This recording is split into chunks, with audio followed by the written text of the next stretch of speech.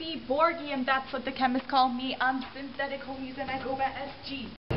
Yeah, I'm a G coming straight from Cali. The scientists at Berkeley were the first to form me. 1.9 minutes, that is my half-life.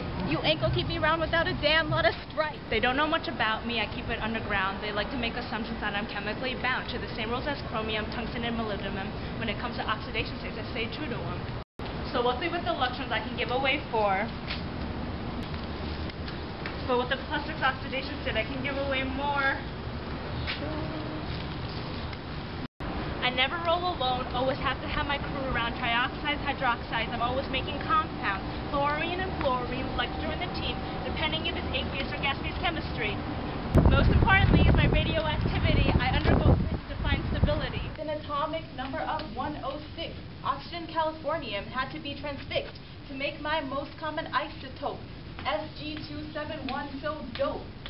Let me break it down. Let me show you how it's done. Here's an example of nuclear fusion.